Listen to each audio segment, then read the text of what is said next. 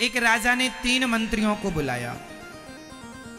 तीन मंत्रियों को बुलाकर कहा, जाओ, ये झोला लो दस दस किलो का झोला दिया और झोला देकर के बगीचे में भेज दिया राजा ने।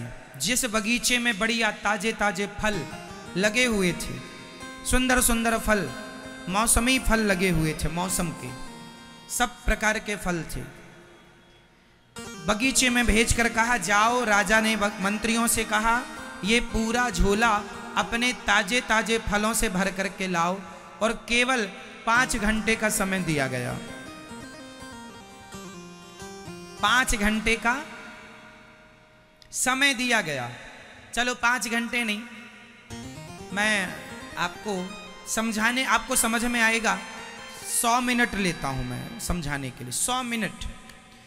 जाओ बगीचे में, सौ मिनट में आपको दस किलो का झोला ताजे ताजे फलों से भर के लाना है, जाओ।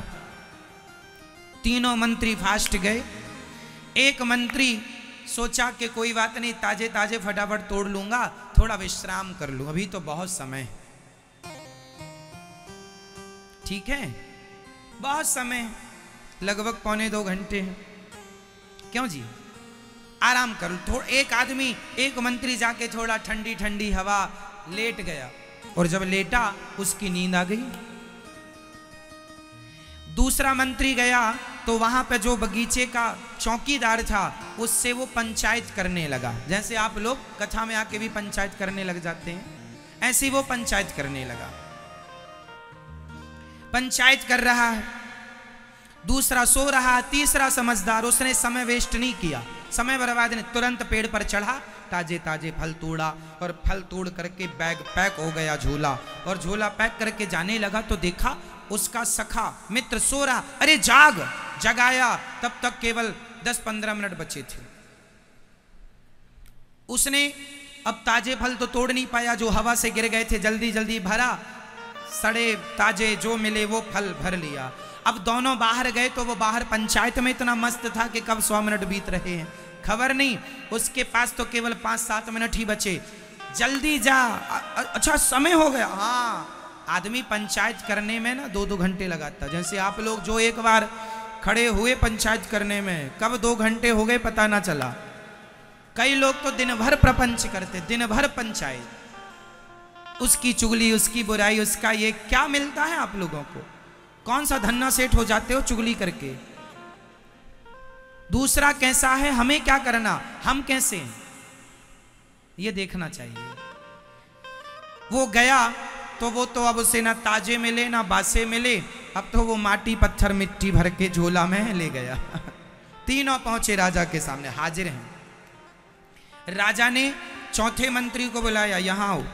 इन तीनों को अलग अलग जेल में बंद कर दो। और खाने को वही देना जो इनके झोले में इन्होंने भरा। तीनों को अलग अलग जेल में बंद किया राजा ने। अब जिसने ताजे ताजे फल भरे थे, उसे तो कोई दिक्कत ना भाई आराम से दो सवेरे खाए, दो शाम के खाए, मस्त। दूसरा, जो सो रहा था, जो सोवत है वो, खोवत है, जो जागत है वो, इसलिए ज़्यादा ना सोया करो, सवेरा हो गया चार बज गए, पाँच बज गए। जागो, सवेरे का सूर्योदय देखो। सवेरे भगवान सूर्य को नमस्कार करो। जागो, उठ, जाग मुसाफिर भोर भई, अब रैन कहा तू सोबत भगवान का चिंतन करो शांति। सो रहा था, सड़े फल भर लिया। अब सड़े फल खाया तो बीमार पड़ गया। अब बीमार पड़ा, चिल्ला रहा, मुझे यहाँ दर्द हो रहा। पेट में दर्द है, यहाँ दर्द है। अब बताओ, उसके दर्द का जिम्मेदार कौन है? ज़ोर से। ज़ोर से। कौन? वो स्वयं। और तीसरे की हालत सबसे ज़्यादा डाउन थी पंचायत थी और कर ले पंचायत। वो फल न भर पाया। माटी पत्थर, उसको लगा राजा टाइम पास करने के लिए भेजे। अब माटी खा, पत्थर खा, और कर ले पंचायत? इसलिए मेरी माँ पंचायत बिल्कुल ना किया करो। अब बताइए वो भूखा मरने लगा, उसकी मृत्यु का जिम्मेदार कौन? भूखा मर गया। और ये जो ताजे ताजे फल तोड़ा था, अब ये मस्त खाया, पिया, पड़ा है, आनंद से मस्त है, इसकी खुशी का जिम्मेदार कौन है? इसके सुख का जिम्मेदार कौन है? सुख का जिम्मेदार भी वो स्वयं है। और दुख का जिम्मेदार भी वो स्वयं हमारे कर्मों का ही फल हमें। ये संसार एक बगीचा है। एक राजा ने मंत्री को बाज़ार बगीचा भेजा। एक मंत्री, एक राजा राजा है भगवान। मंत्री है हम सब। हमें एक झोला दिया भगवान ने और कितने मिनट का समय दिया?